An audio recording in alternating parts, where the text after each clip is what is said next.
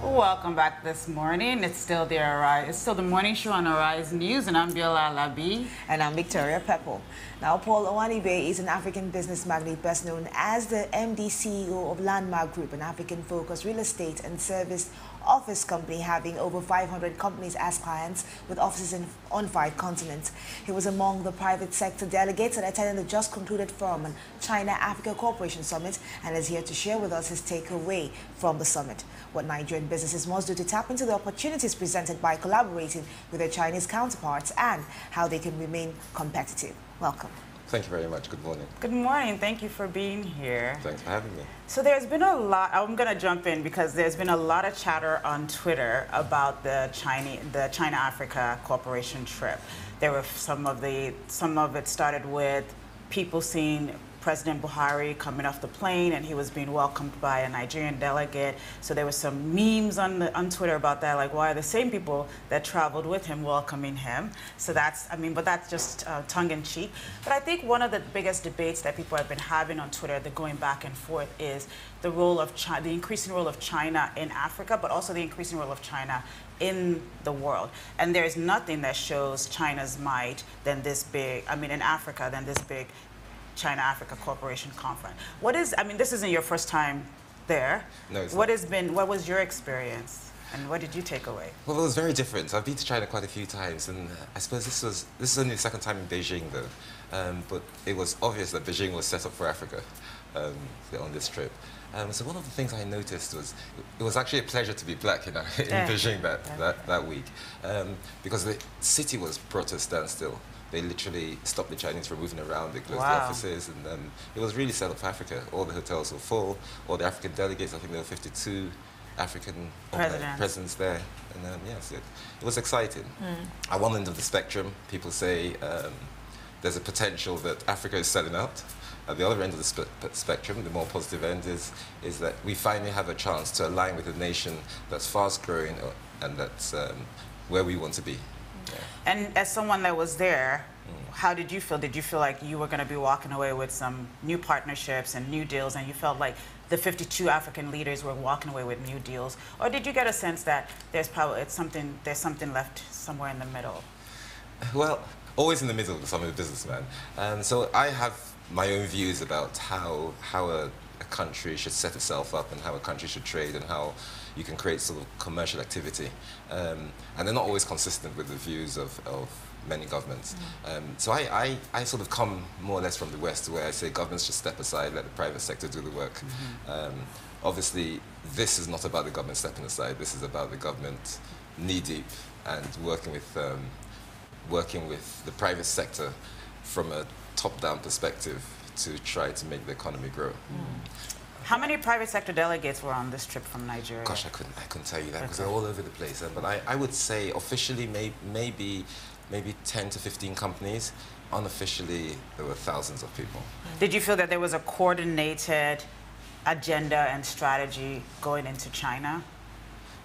leading um, up to this? Well, I think that's, that's a question for a government official, but from, from a private perspective, um, um, it it wasn't as coordinated as I would have liked, but but then again, um, that's maybe that's my fault. Maybe I didn't prepare well enough before going. All right. So, what was um, the trade balance or the trade between Africa, and Nigeria, and China last year stood at 17 um, billion or 14 billion dollars, and now this year um, China is offering 60 billion to Africa. Now, a lot of people are very skeptical about mm -hmm. this. They've they've said things like, you know, nobody can be so generous, and there are stories that are making um, the, the the news about the fact that when these deals are too good, um, if they're not used properly, the utilizing countries cannot benefit and then they begin to owe China a lot more than money. From the interactions you had and from the offers that were made, from the deals that were signed, I mean, these are low interest rates, lower than what the other developed countries have been giving Africa over time and what all the financial institutions also give Nigeria. So it seems like it's too good to be true. Are you on that path as well? No, I mean, I, I do say all the time that um, all that glitters is not gold. But at the same time, some things that do glitter are gold. Mm. Um, so you've got to be able to separate them.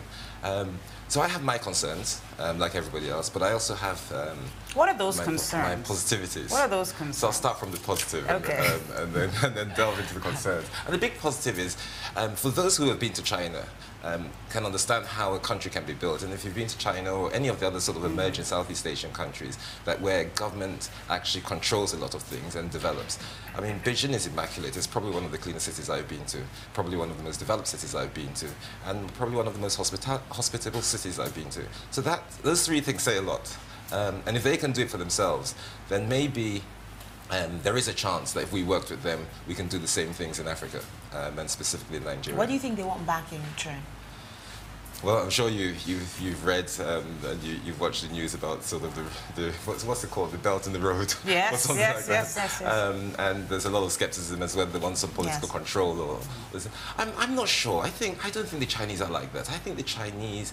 Um, want to expand their business. I think they're after the commodities. So you think it's okay? They are, but they're after commodities. Yes, so it's a you- commodity grab. Yes. You haven't said your concerns. So, so don't my, so my, my, con- my concerns are so Africa, Africa's future rests, the big risks for Africa rests on a few things, yes? One is political stability across the region and individually in, in some of the key countries. Um, two, two is fiscal slippage, to ensure that, you know, fiscal policy doesn't slip too much. Um, th- three is, is commodity collapse. If, if commodities actually do collapse, then you've got to ask whether China will still be interested in being, being in, in here. Um, four is the continuation of the reform agenda. I think everybody would, would agree that um, Africa today is not Africa 20 years ago. I think leadership is better. It may not be what we all want, but it's, it's better than it was. It's cleaner, it's more transparent, it's more active, um, and it maybe looks at the people a little bit more than just the, the government. Um, so what are my real concerns? My concerns are how do we stay on course, make sure that you know investor sentiment doesn't sort of erode? How do we make sure that politically um, politicians or leaders are not too strong and a lot of that responsibility is devolved to the private sector? So I, I do believe that you know if you devolve more responsibility, my, my fix for Africa is devolve more responsibility to the private sector. Um, the government should provide more of an enabling atmosphere. Um, bilateral deals like this signed with China should involve the private sector a lot more.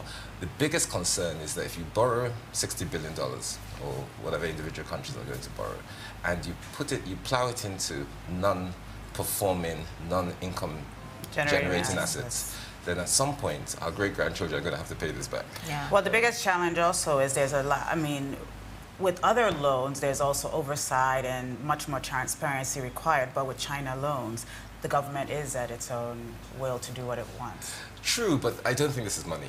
This is actually not money. It's not real cash. The Chinese government are not Of course, it's yeah, they're not. Yes. But um, one of the things that's been happening, I mean, also once again about is Zambia. Zambia has been a case now of say, look at Chinese engagement in Zambia. I mean, I've been to China. I've also been to Zambia, and when I was in Zambia, literally people were pointing to me. The Chinese built this building. Chinese built this road. Chinese built this building.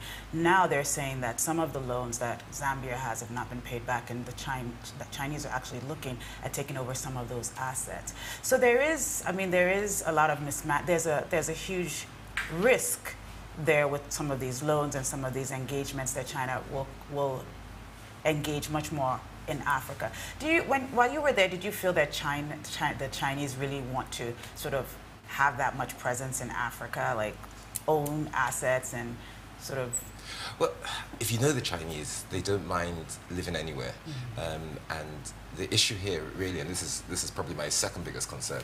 Um, so the, on the positive, the Chinese, when they get into a country, they actually get in knee deep. Mm. They, they don't they don't sort of skirm around the edges like like many of the Western countries. Um, but the biggest concern is you've got to ask yourself how much in the value chain do they actually add? How much do they leave behind when they're leaving? Yes.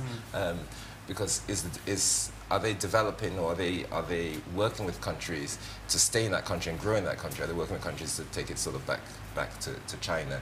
Now traditionally, and we work with the Chinese, and when I say we, we as a company, Landmark, um, but traditionally the Chinese bring in everything that they they, they put They in, use. They, they use.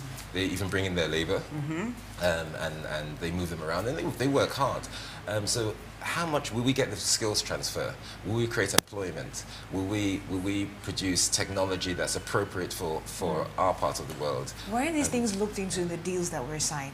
I mean, they could bring in their people for a period of time, transfer the knowledge, and then move back. Weren't these issues that were looked at when these deals were signed? I would hope so. I was not privy to. No, to, I mean, I think this to, has actually been a, a, big complaint about China around the world. And actually, um, Zam, one of the Zambians were always up in arms about mm. the fact that a lot of the Chinese infrastructure built in Zambia wasn't creating no jobs. Wasn't actually creating jobs, jobs, at all. So that's a big problem. Yes, no, the value, the value chain is a huge problem. The other thing that, that's a problem is, is the quality of what the Chinese do.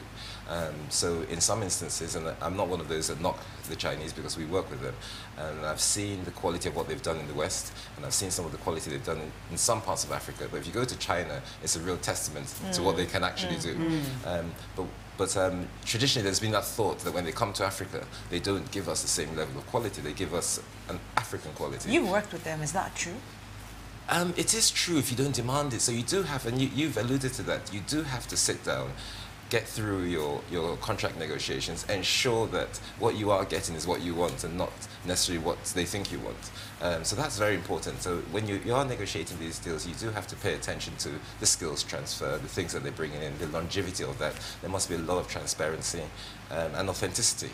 And um, I think those two words are, are words that you know, if I were advising the government, I would say transparency, authenticity are the two things you need to watch mm -hmm, out for. Mm -hmm. uh, make sure whatever you're getting is authentic, make sure it's transparent, and make sure that there's a real value add and there's a leave behind. Mm. If you look at, you assess a relationship with the Chinese government and the deals we've struck in the past three years with President uh, Muhammadu Buhari being the president of Nigeria, would you say we've gotten a fair deal? Would you say the relationship has blossomed and can we take it several steps further? I couldn't speak to the intricacies of any deal that's been signed between directly between the government and China, but what I can do is give you my perceptions. Yeah. Um, and from a perception point of view, I think I think the Chinese have have made some have, have added some value to some extent. So some of the infrastructure that they have built, they, they can build very fast, mm. yes? Um, they, so they can produce fast. So whether it's the railways and whether it's the airport or, or a few roads. And the issue now is how long do these things last? And we haven't gotten there yet. Sure, um, sure. And, and how much of the skills transfer has taken place? I, I'm concerned. Mm. So I, I, will say I'm not sure that there are many there are many Nigerians that have been ordinary Nigerians that have benefited from that skills transfer. Direct benefits. Direct benefits. So it hasn't increased employment. It hasn't made mm. a lot of people sort of more technical able and able to do this. Um, if they build the airport, are we going to will will they be maintaining the airport or will there be a, a set of Nigerians that will be employed to, to maintain the airport. Mm. Um, you said something here, which is sort of the um, authenticity and actually transparency. a transparency, which is also a rigor that has to go into these negotiations. Yes. Yes. I mean, you were there, you saw leaders from 52 countries. Did you did you get the sense that we are applying or we're ready to apply, even let's say in the past maybe we haven't applied the same rigor. With the knowledge we have now, with the experience we've had now, we've seen some of the, we've learned from some of the things that have happened in Zambia. Do we think that African um, leadership and African citizens are ready to put in the type of rigor that needs to be put in, in when negotiating with China? Um, yes and no. yes and no. Okay. So I'm, Why, yes? I'm, cautiously, cautiously optimistic. Yeah. Um, well, I, I, said this on the show once. I'm pessimistically optimistic. Mm. And so, so, yes, in that um, African leadership is, is definitely better than it was before. Mm -hmm. Yes, um, and there's some very smart people in government. Just walking around the corridors in in in, in Beijing, um, there's some extremely smart people that have some great ideas and are skeptical.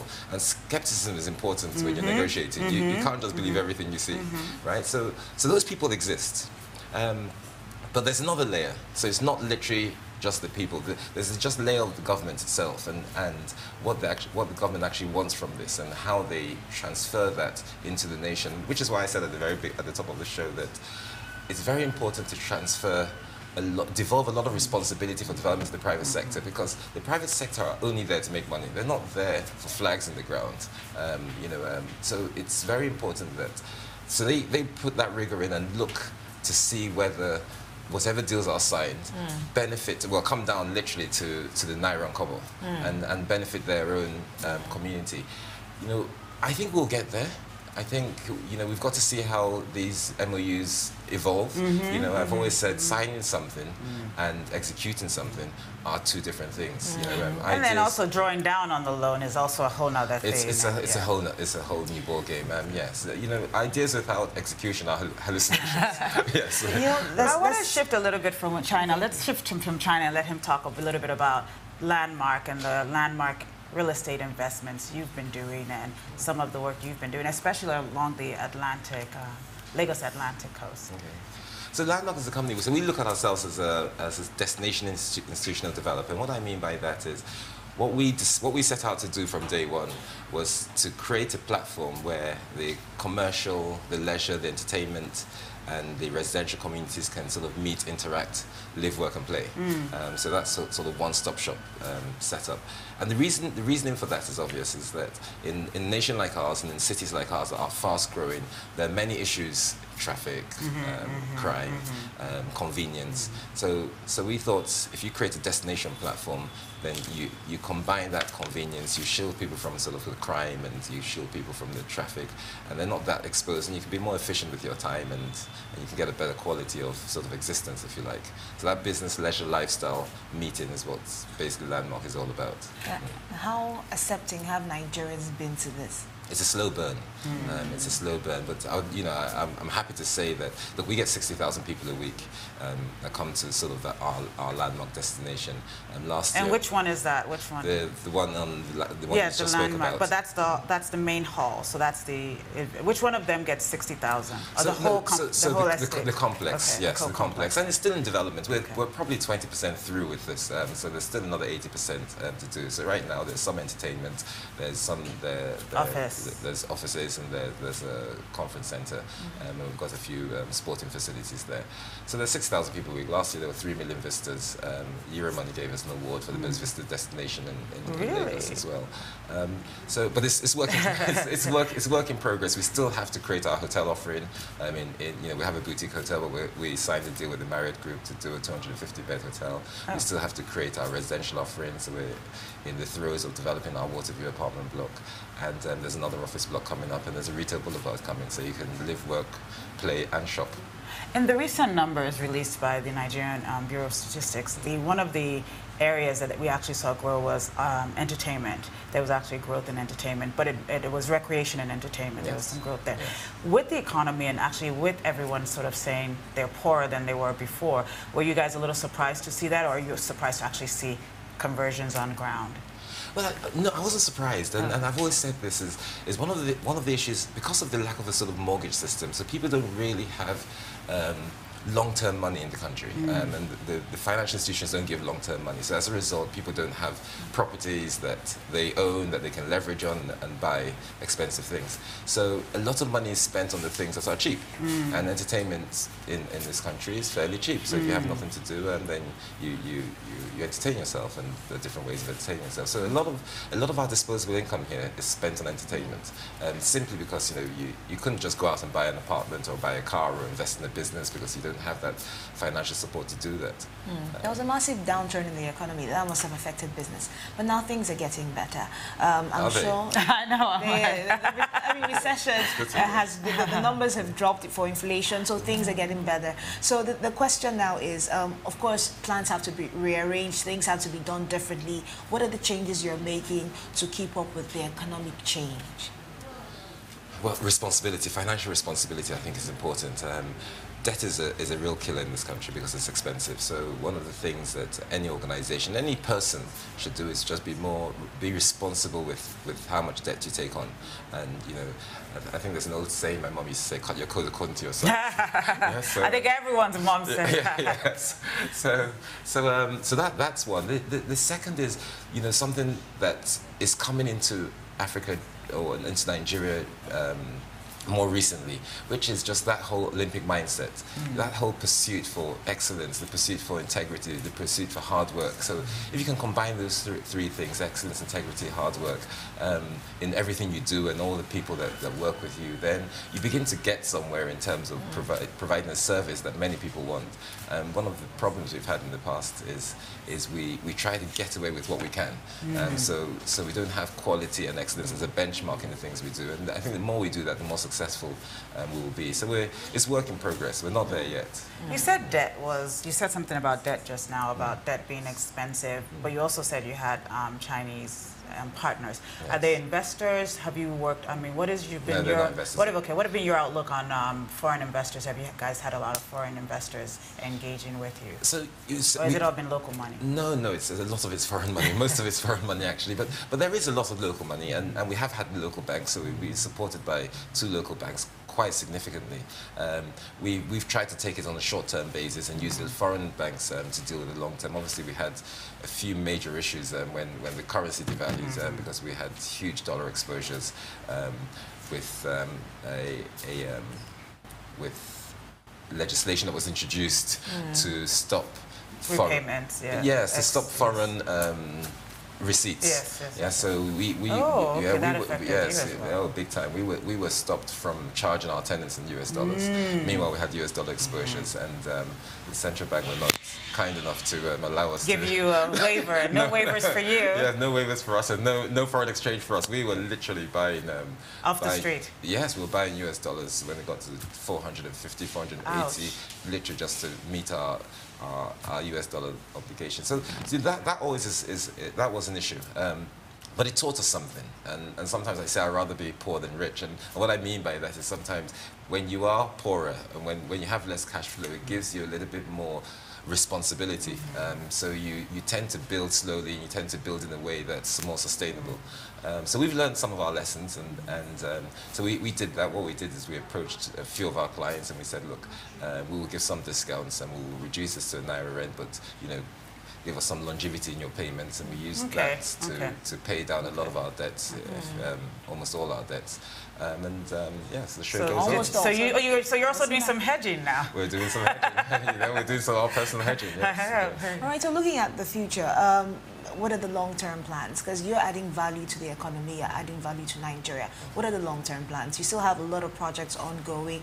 What is the big picture? Share it with us. So we call ourselves Landmark Africa. So we want to create destinations in multiple cities. Hmm. Um, we, we've traditionally worked in, in 14 different African countries Oh, wow. with our serviced office business. We had offices in nine of them um, in, and in, in quite a few different cities. So, you, so we have experience in East Africa, West Africa, North Africa, and South Africa.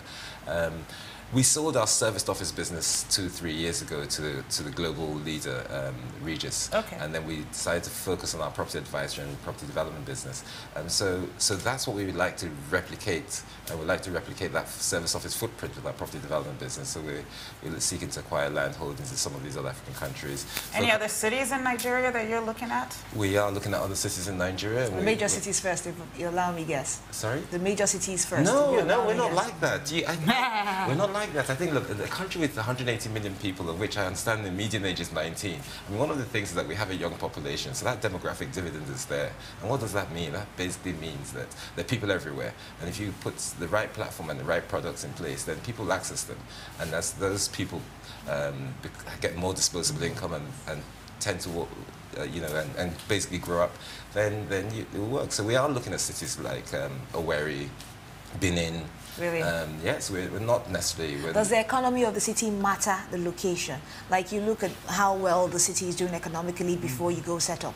Is that um, not a necessarily. criteria? Not, not necessarily. It is a criteria. I think it's important that the city. I mean, you has have to be able to do long-term projections You have to, based yes, on yes, yes. But I, I would say, you know, I'm a big believer in the demographic dividend. Yes, um, and and history has taught us that that countries, cities, areas that have had young populations that are fast growing have always done well. But it's also a risk. Especially, as, well, you're especially in entertainment. Entertainment is really for disposable income. Yes, but people have to live somewhere. They have to eat somewhere. They have to they have to go to school somewhere. They have to go to hospital somewhere. So so for being a real estate business and we're providing the envelope for all these activities, then then where there are a lot of people, then there's a lot of demand, and that supply demand dynamics um, works.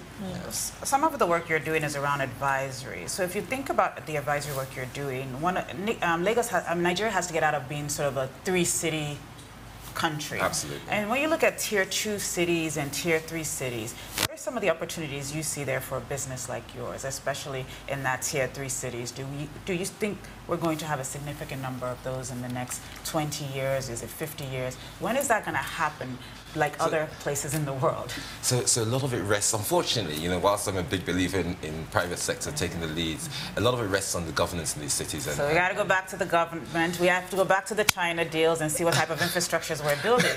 Well, yeah, yeah, yes, yes, yes, and, yes and no. I mean, we also have have to you also have to create a platform that's enabling. You know, um, you know, I once said probably 10 years ago to to um, to build a building in say Lagos State you would spend 10 to 15 percent of the money before you lay a brick in the ground. The government didn't really have a pro- proper enabling system for the private sector. That's changed, or let's say it's changing. changing. It's changing. So, so the, the governments are a little bit more enabling, but some governments obviously already are where they want to be, right? Um, when you go to the B cities, the category two and category three cities, and those governments are a lot more receptive. They're, you know, you can influence consumer preferences there. You can influence the way the government operates. You can you can get land at a better at better and cheaper costs. So you can provide better services that don't actually exist because people have concentrated on you know Port Harcourt, Lagos, Abuja. Um, I mean, we are in Lagos, and because Lagos you can't you necessarily can't avoid it. And and the big risk Lagos has is cities around Lagos getting better. Um, and if they do get better, um, then then Lagos itself would need to would need to up its game to, to, to a large extent, um, so it becomes more convenient and, and more attractive. Right now, the biggest attraction of Lagos is just that there are a lot of people and, commercial- there's a lot of commercial activity. yes. Yes. All right. Um, so you talked about the fact that you set up in other African countries as Yes. well. So tell us the difference between operating in these Af- other African countries and operating in Nigeria. Huge difference. huge, huge difference. So the obvious, the obvious differences, um, the obvious differences of sort of language and economic Yeah. activity. But, but I suppose the biggest difference, um, and I, I, I used to say when we used to walk around, dri- drive around or go around other, other African countries, the biggest difference was just the energy. The energy levels. Um, we some, we often don't know what we have in Nigeria. Hmm. I mean, we have a, a resilient hmm. population, mm-hmm. a young population, What fast about growing. government and- policies? so, the government policies are not always great. Hmm. Yes, they could be a lot better. You know, and, and some of the other countries have grown, have re- reached political maturity faster than us. So the, the government has a more enabling out, um, outlook. The government is more accessible. Um, the biggest issue with Nigeria is the government is just simply not accessible. It's very difficult to speak to your leaders. It's very difficult to have one-on-one um, conversations. It's very difficult to get your leaders to understand the basic problems that you have, and then they take them on. Um, Well, in, when you're in Nigeria, you're able to engage much more than in other places, or is it easier? No, it's easy in other places. That's, that's the problem. It was, it's- it was easier for me to meet the president of Ghana, the president of South Africa, the president of Kenya than it, I've never met the president of Nigeria. you know, so it's, it's But you get to travel with them to China. but, no, but no, no, no. You said something that I don't want us to lose, which is, I mean, I think that it's really important to talk about these things, especially in places in Nigeria where a lot of times we are pessimistic about what's happening. But you said something about the energy and the population and how that really does mm. give us a, An edge. an edge Yeah. and an advantage. What worries you about us misusing this edge? What worries you? Well, history has also taught us that having a large population, large young population, growing population that's economically inactive is a huge risk. We saw that in Arab Spring. And if, if we misuse and don't create an enabling environment um, to, to enable the young people sort of grow, get educated, get into jobs, get employed, and be economically viable, then the risks are that they will turn against you and sometimes it's a one-way street. It's, it's hard to turn them back around again. So it's, I think it's important um, for, for leaders to remain humble, um, to understand that they're there to serve, and to understand that they're there to create opportunities for the younger citizens. Um, many of us are already outside our economic cycle. um, You know, and I think the people that really matter, um, you know, without being too to um, dictatorial, people that really matter are those kids between sort of 15 and 30. Um, because they're in the fundamental, the good part of their education that needs to be done properly, and their economic activity. Um, after 30, um, you're sort of you're influenced by what you've seen in the last 20 years or last 15 years, and before 15, you're probably too young to, to make a difference. Um, so it's very important to make sure that that sector grows up properly, gets educated properly, and, and does the right things. And you know, when the, the great Western nations and places like Japan, they grew when they had huge young mm-hmm, populations, mm-hmm, mm-hmm. and they started declining when those populations started aging. Um, same thing with the tiger economies of Asia. So it's Africa's turn.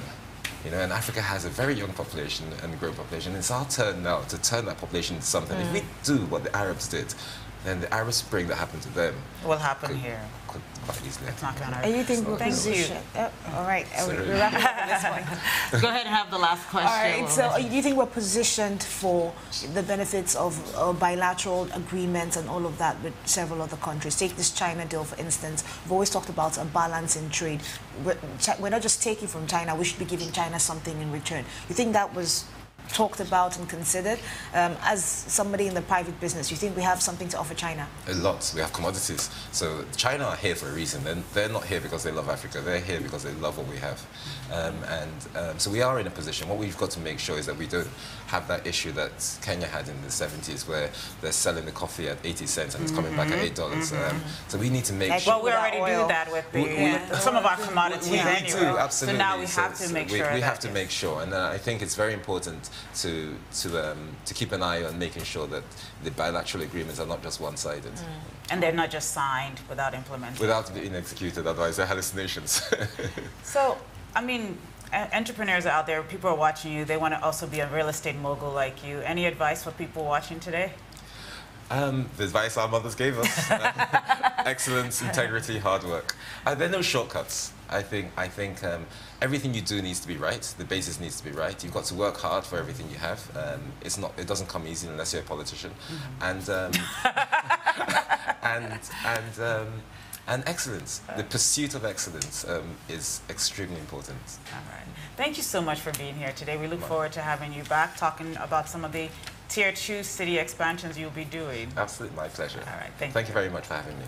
You're watching the morning show. We're going on a short break right now. But when we come back, we'll be joined by Mustafa Chike, who will be former managing director of Asset Corporation, Asset Management Corporation of Nigeria, to speak to us on the state of Nigeria's economy and about politics and the run up to 2019. Elect. Yes. We'll be right back.